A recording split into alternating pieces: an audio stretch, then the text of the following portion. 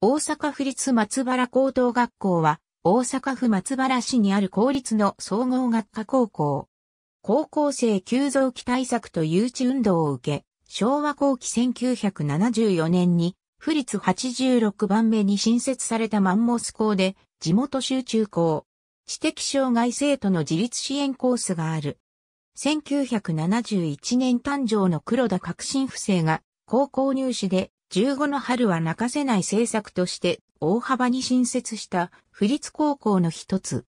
1973年度だけで開校13校が計画され、各自治体が地元誘致運動を進める中、松原市の住民らが誘致運動を展開したことを受け、1974年に府立86番目の地元校として設置された。教育課程は全日制課程で開校時は普通科だったが1996年に今宮高校、国島高校とともに大阪府立高校として初めて総合学科へ改編。全国でも先駆ける3番手グループで全国初の一挙3校、すべて普通科から転換で大きな注目を集め、高校改革のパイオニアとなり、教員を加配され施設も充実した。授業の約半分が選択授業で国際理解、地域福祉、情報表現、スポーツ、文化、環境科学の5系列、160の講座から、生徒は1年生で4科目、2年生7科目、3年生9科目を選択する。大半の生徒が卒業後に就職するため、教養教育の側面が強い。大学進学希望生徒向けの基礎講座もある。同和科杯を活用した複数担任制も導入されている。また、全国36校の文部科学省の通級指導研究指定校にもなり、2017年10月に試験導入。翌2018年度から通級指導教室を設置し、国島高校とともに通常の学級における特別支援教育を進めている。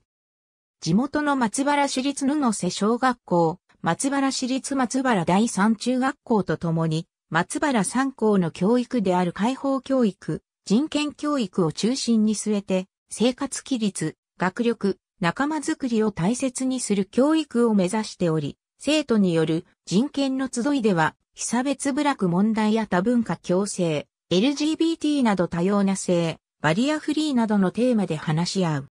また、生徒に人権意識調査を行っているほか、一人一人を大切に、生徒と共に歩む合言葉に、優しい力を学校のコンセプトに据え、人間としての生き方や社会のあり方について考えさせている。松原高校内には一切の差別を許さない学校、落ちこぼれを許さない学校、地域に根ざした学校以上の三目的を集団主義の原則に基づいて生徒、教職員の団結で実現することと刻まれた卒業記念碑も設置されている。在日韓国、朝鮮人だけでなく、都日生と呼ばれる中国、ブラジル、ベトナム人の指定も多く、その縁でベトナムの高校と姉妹校提携も結んでいる。また、進路指導セクションの名称も学校設立の経緯から進路保障部である部。1978年から軽度知的障害のある地元中学校の卒業生を準校生としてホームルーム活動などで受け入れる実践に取り組んできた。中学生ら署名2万人による障害のある仲間と共に松原高校へ行くんだ。運動から始まった。準校生は教育委員会で決定された正式な制度ではなく、高校側の独自活動であり、正規の学歴としても扱われない。しかし長年の実践の中で、授業の受講にまで受け入れを拡大した。そして大阪府教育委員会の正式な制度、正規の学歴取得として2001年度から松原高校を含む4校が知的障害のある生徒の高等学校受け入れにかかる調査研究に指定され、さらには2006年度から軽度知的障害生徒自立支援コースとして軽度知的障害者を受け入れるようになり、準校生活動は発展解消した。クラブ活動では文化系と体育系の各部があり、特色として国際交流部や朝鮮文化研究部、部落問題研究部、JCBC、手話部がある。また文化祭の模擬店では必ず、地元の名物かすうどんが提供される。ルルクメイトは、HIV 感染予防の啓発活動を行う、松原高校生徒による自主活動グループ。